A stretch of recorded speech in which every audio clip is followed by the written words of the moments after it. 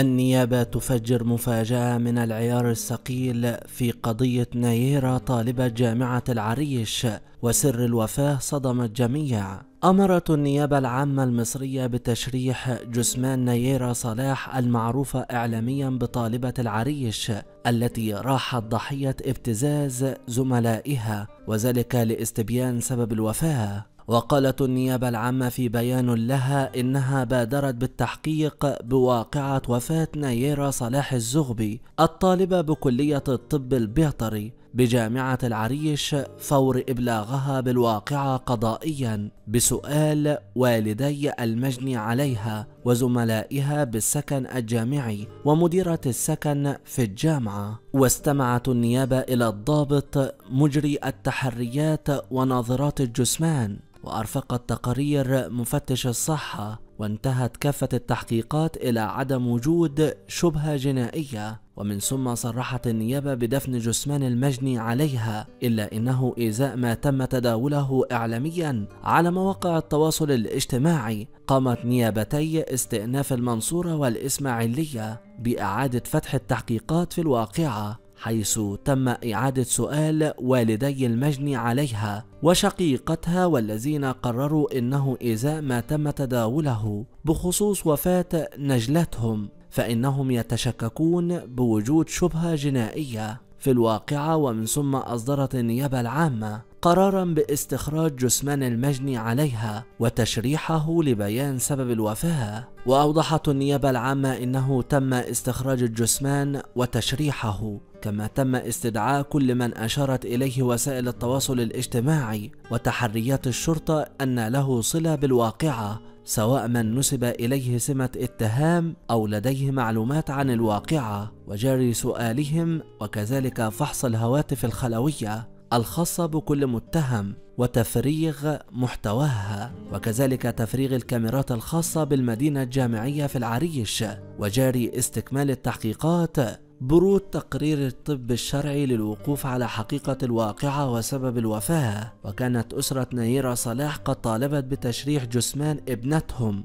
لشكهم بوجود شبهة جنائية في الوفاة. محامي نيرة صلاح يكشف مفاجأة مدوية وكشف محمد أحمد سلامة محامي أسرة نيرة صلاح الزغبي طالبة جامعة العريش التي توفيت جراء تناولها مادة سامة. آخر التطورات في القضية وقال المحامي في تصريحات مساء اليوم أن الفتاة كانت صائمة وتناولت وجبة الإفطار وشعرت بمغص شديد في بطنها. بعدها تحدثت إلى والدتها عبر الهاتف تشتكي إليها من الآلام الشديد الذي أصابها. فطلبت منها أن تبلغ أصدقائها والمشرفة على دور إقامتها بالمدينة الجامعية لكنها توفيت قبل وصولها المستشفى. وأضاف المحامي أن صديقة نايرا في غرفتها صورتها خلال استحمامها وأرسلت الصور بمساعدة صديق مقرب لها في الجامعة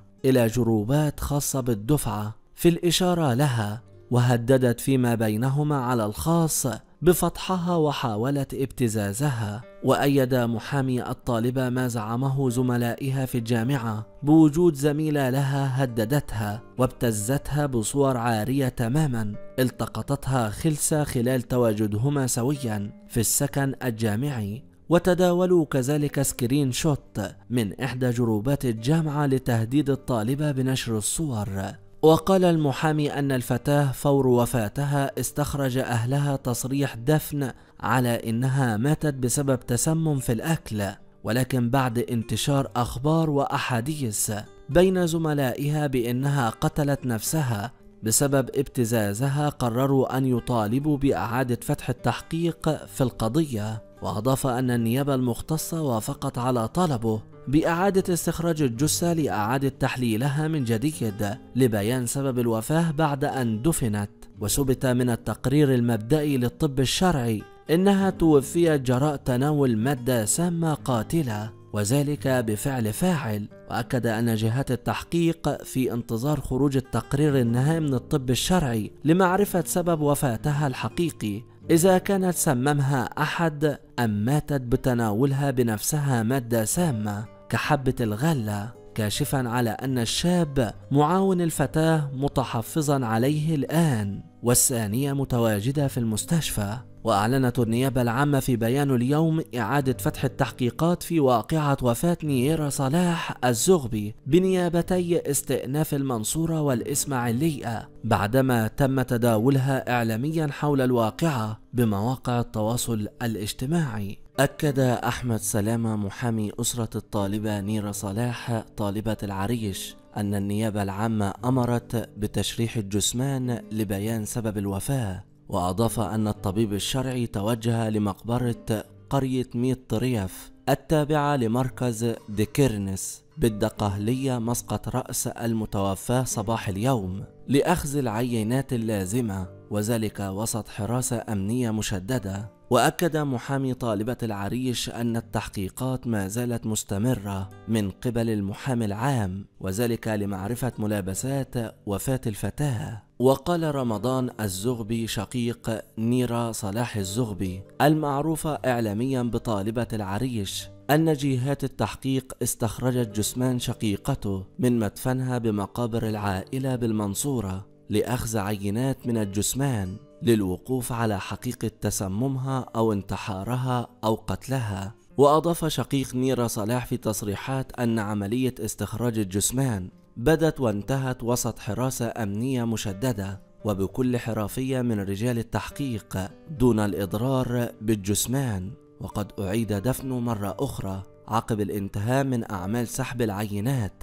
وألقت الأجهزة الأمنية القبض على ثمانية من المتهمين في واقعة طالبة العريش. بجانب إيقاف والد الطالبة شروق الضابط برتبة رائد شرطة وتستكمل جهات التحقيق التحقيق في الواقعة. ونفى بكري أن والد الطالبة المتهمة بالابتزاز لواء شرطة لافتا إلى أن جهات التحقيق تجري تحقيقاتها بعد العديد من الأنباء التي تم تداولها في الساعات الأخيرة منذ وفاة الطالبة. وفجر محامي أسرة طالبة العريش مفاجأة بعدما أكد أن قطة احتست من الكوب الذي تناولت منه الفتاة العصير وتوفيت القطة في الحال مؤكدا أن الأسرة لا ترفض تشريح جثمان الفتاة. إن استدعى التحقيق ذلك لرغبتهم في القصاص لابنتهم وأشار إلى أن الفتاة اتصلت بوالدتها وأخبرتها إنها تشعر بتعب في معدتها. ووصفت لها الأم نوع دواء لتخفيف الآلام وبعدها فوجئوا بتدهور حالتها ووفاتها على الفور. القصة بدت باستقبال مستشفى العريش العام. فتاة تدعى نيرة صلاح محمود عبد الرازق الزغبي تبلغ من العمر 19 عام.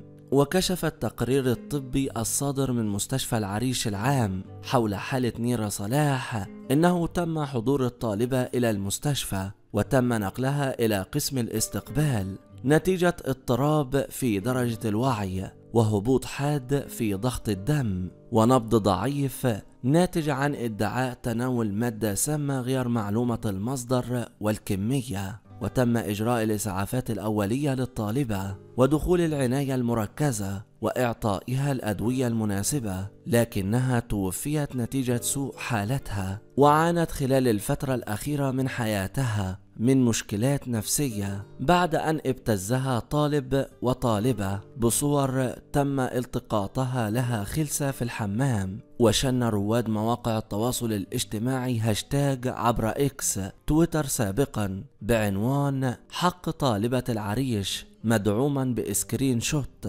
من محادثات الطالبة نيرة صلاح الزغبي طالبة بكلية الطب البيطري بجامعة العريش وبين زملائها على group الدفعة. screenات shot تتضمن ما تعرضت له طالبة العريش من تهديد وابتزاز. على يد زميلتها شروق وصديقها طه. بنشر صور خاصة لها وفتحها في الجامعة إذ لم تقدم اعتذار وتتوسل لهما أمام الجميع.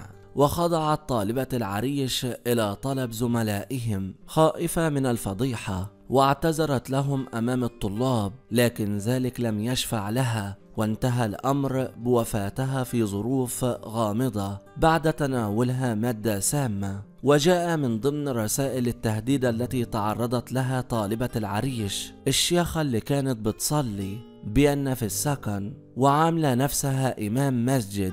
تحب نفضحها يوم السبت ولا النهاردة الساعة 12 بالليل؟ تصويت.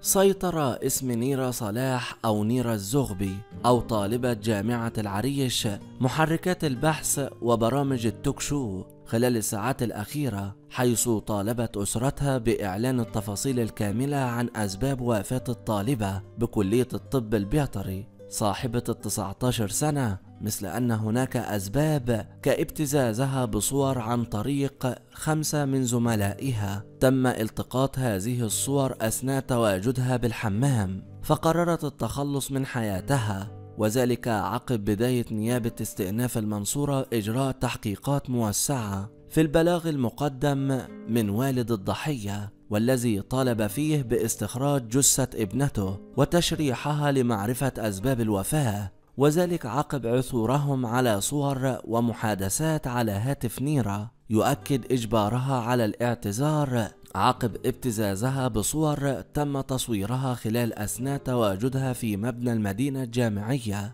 وأطلق رواد مواقع التواصل الاجتماعي هاشتاج حق طالبة العريش للمطالبة بالكشف عن ملابسات وفاة الطالبة خاصة بعد تأكيد بعض زملائها إنها تخلصت من حياتها بتناولها حبة الغلة السامة وهو ما تنفيه أسرة ميرا. صحة انتحارها. مؤكدين إنها حافظة للقرآن الكريم وإنها كانت صائمة يوم وفاتها مما يثير الشكوك حول حقيقة ما حدث. مواقع التواصل الاجتماعي كانت البطل في قصة نيرة صلاح أو نيرة الزغبي طالبة جامعة العريش وكانت سببا رئيسيا في الكشف عن صور لمحادثات بين الضحية وزملاء في كلية الطب البيطري. في جامعة العريش ورسائل إجبار على اعتذار الضحية على الجروب العام للدفعة وطلبها السماح من أخرى تدعى شروق. ما تم تداوله أن نيرة تعرضت للابتزاز والتهديد. بصور تم التقاطها خلسة من قبل زميلتها شروق وأرسلت الصور لزميلها ويدعى طه الذي قام بالتصويت على موعد نشر الصور. المصر اليوم حصلت على تفاصيل جديدة في واقعة وفاة نيرة التي لم تحسمها الجهات الأمنية والتقارير الطبية عن الوفاة. هل هي انتحار أو دس مادة سامة؟ اتهامات من زملاء نيرة وأكد الطلاب في منشورات متداولة وجود خلاف بين الطالبة وإحدى زميلاتها في المدينة الجامعية. نتيجة مشادة كلامية بينهم في وجود عدد من طالبات المدينة الجامعية وقالت بعض الطالبات أن زميلتها شروق صورتها خلسة أثناء وجودها في الحمام لإذلالها والتنمر عليها نتيجة المشادة التي وقعت بينهما. وأضافت صديقات الطالبة نيرة أن زميلتها أرسلت لها تهديدات كثيرة بأنها سوف تقوم بفضحها بنشر تلك الصور على تطبيقات التواصل الاجتماعي مطالبة إياها بالاعتذار لها حيث رضخت الطالبة للأمر واعتذرت على مجموعة خاصة على تطبيق الواتساب الخاص بطلبة الكلية لإنهاء الخلاف. المكالمة الأخيرة للطالبة نيرة وآخر مكالمة أجرتها الطالبة مع والدتها والتي أخبرتها بأنها صائمة وطلبت منها تحويل مبلغ 100 جنيه لشحن الهاتف المحمول بعد أن قالت بطن بتتقطع يا أمي ممكن علشان صايمة. وقال صلاح محمود عبد الرازق والد طالبة العريش ابنتي طالبة بالفرقة الأولى بكلية الطب البيطري بجامعة العريش. وأضاف تلقت زوجتي اتصالا من الابنة الراحلة يوم الوفاة تبلغها بأنها تعاني ألقي فنصحتها والدتها بتناول قرص